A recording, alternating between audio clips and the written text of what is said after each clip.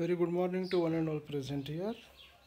I, Professor Ashwadi Fuljele, Assistant Professor in the Department of Mechanical Engineering, welcomes you all for the online lecture of Advanced Manufacturing Technique, an elective subject of 8th semester Mechanical Engineering.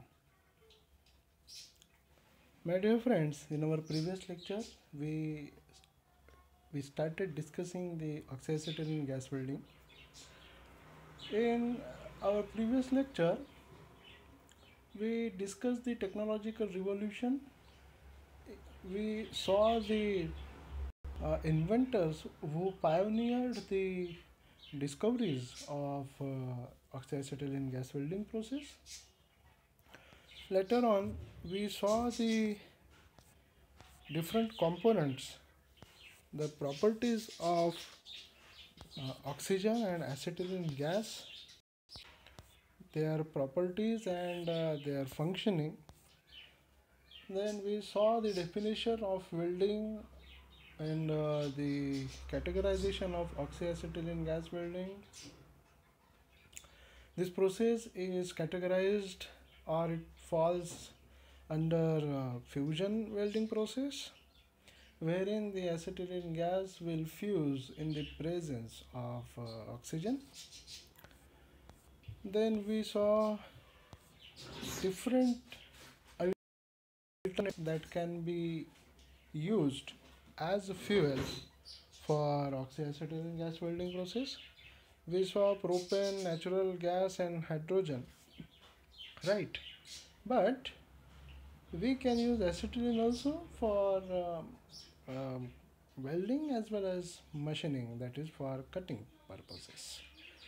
This process is more versatilely used in various industries because various operations can be performed. Those are depicted in the presentation as you can see here. Various operations that we can perform is brazing, fusion welding, flame hardening, metallizing, soldering, stress relieving, cutting, bending also. But nowadays, the primary use of oxyacetylene gas process is for heating, brazing, cutting and welding. Right?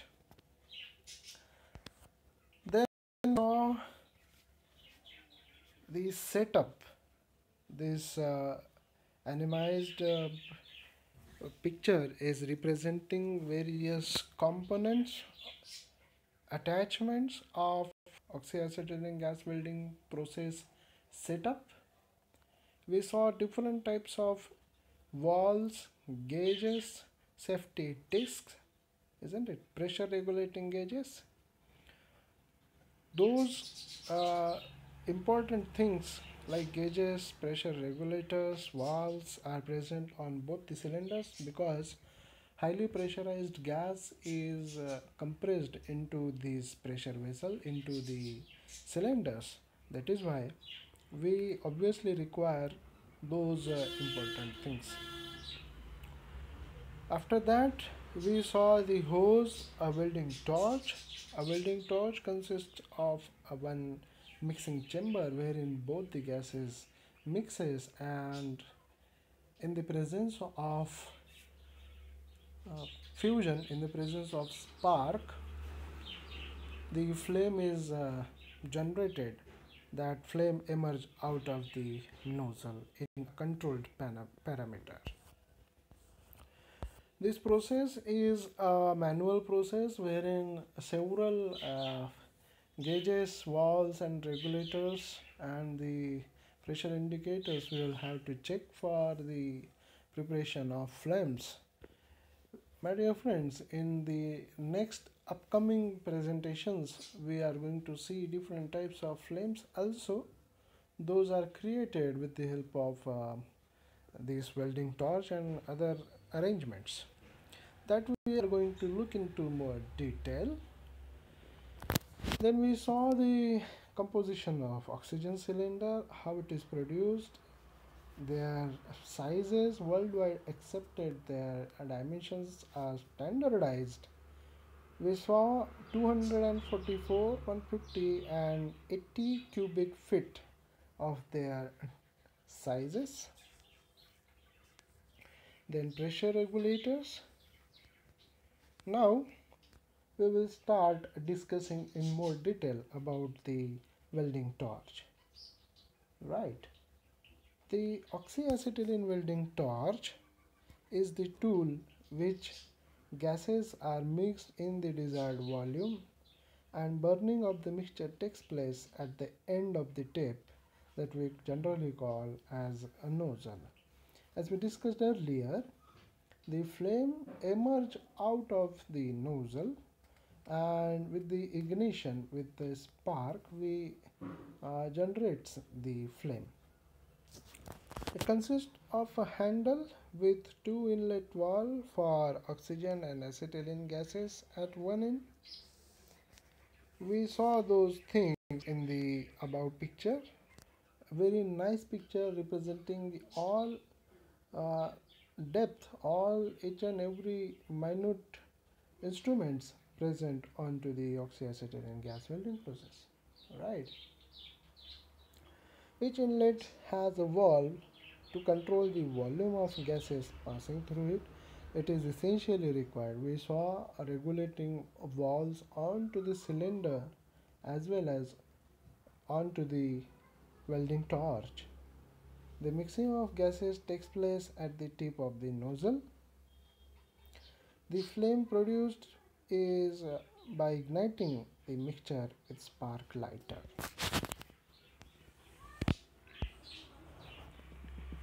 This picture is representing the oxy-fuel torch wherein you can observe I am going to zoom in out the acetylene torch valve wall stem packing similarly valve stem packing for the oxygen torch valves.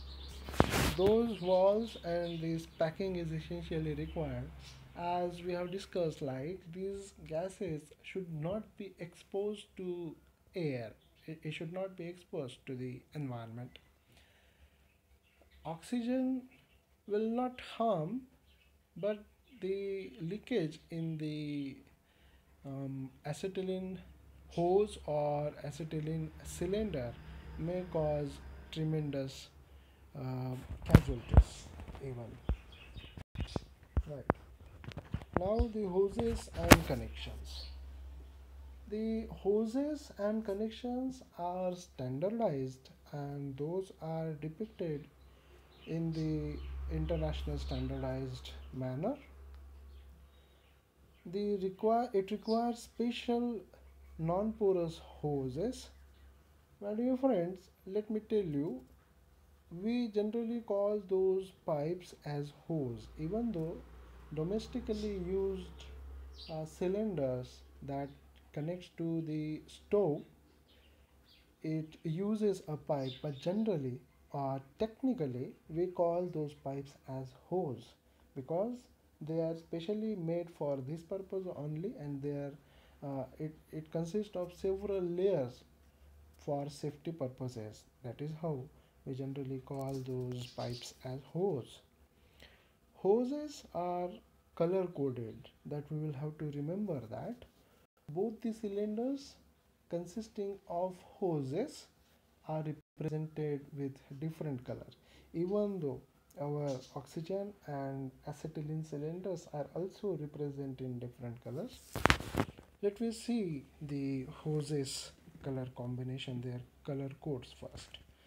The oxygen hose is painted with green color whereas the fuel gas that is acetylene hose is represented by red or black color. And their connections are also represented in different manner. Oxygen hose is having a right hand thread whereas acetylene hose it consists of left hand thread the hoses should be protected from hot metal and physical damage. That care we must take while handling this setup.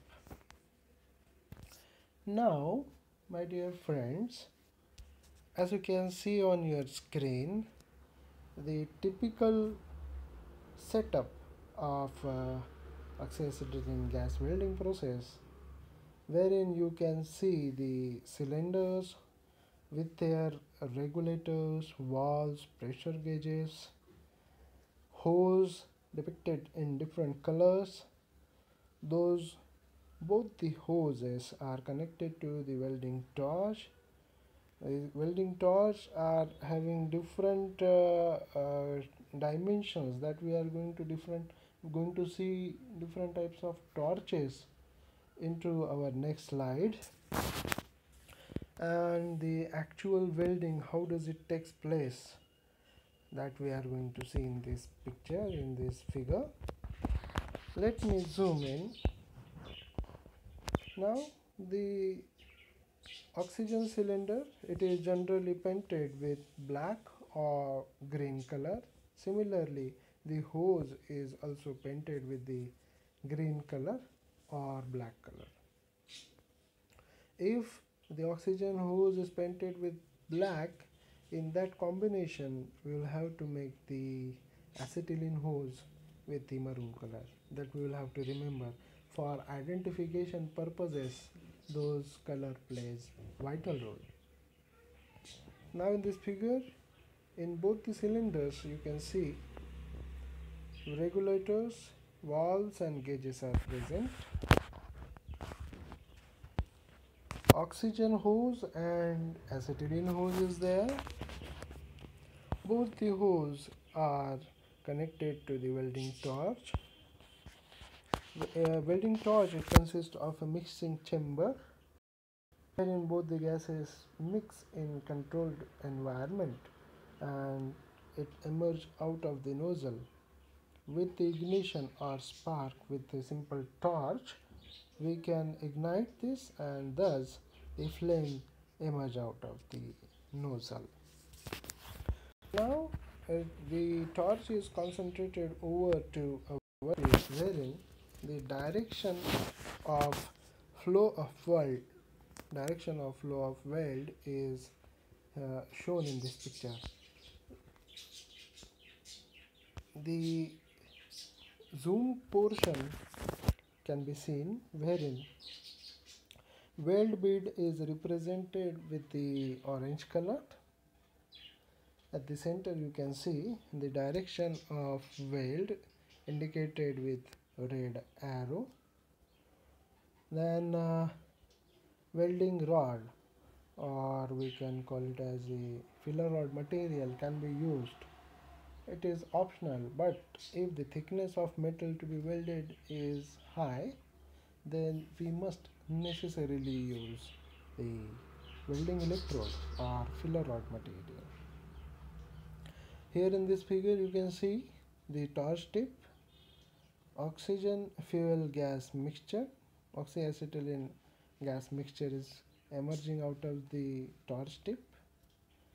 At the back side in this sky blue color you can observe the completed weld one major disadvantage of this process is the spatter loss or even the carbon deposition over the uh, welded region that we are going to discuss in next slide also. All right so we can see the detailed operation of oxyacetylene gas welding process. Now the principle of operation that is used in oxyacetylene welding is when the acetylene is mixed with uh, oxygen in correct proportion in the welded torch and ignited the flame resulting at the tip of the torch is sufficiently hot to melt and join the parent metal. My dear friends, the temperature that we can achieve with this process is around 3000 degrees Celsius. Generally, 2500 degrees Celsius can be achieved. And of course, as we mentioned earlier, three different types of uh, flames representing uh, different temperatures. And of course, those three different types of uh, flames are used for um, welding or cutting the different types of materials according to the requirement we adjust the flame. The oxyacetylene flame reaches a temperature of about 3200 degrees celsius and thus can melt all commercial metal which during welding actually flow together to form a complete bond. As it, it represents the temperature range that we can achieve and generally the melting point temperature of iron is 1539 degrees celsius. And through that we can observe we can melt uh, any type of material isn't it and as the definition of uh, welding depicts like uh, welding process through which we can achieve the uniform material isn't it? We can make any material intact. In the continuation with principle of operation, a filler metal rod is generally added to the molten metal pool to build up the seam slightly for greater strength.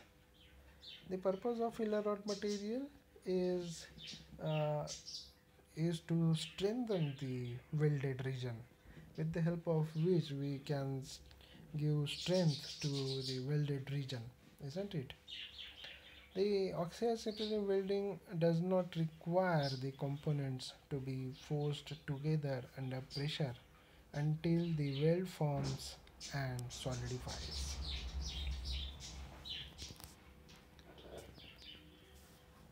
Uh, oxyhydrogen and other fuel gas welding oxyacetylene, oxyhydrogen and oxypropane. My dear friends, in our previous most slide we saw the different uh, uh, fuel gases and this is representing the temperature range that we can achieve with those gases. Apart from acetylene hydrogen along with the oxygen gives 2500 degrees celsius whereas propane in the presence of oxygen it gives 2500 degrees celsius. Those combinations uh, are helpful that we can implement in versatile materials now the regulators and hoses their uh, compositions we will see into our next lecture Today we will stop here. Thank you.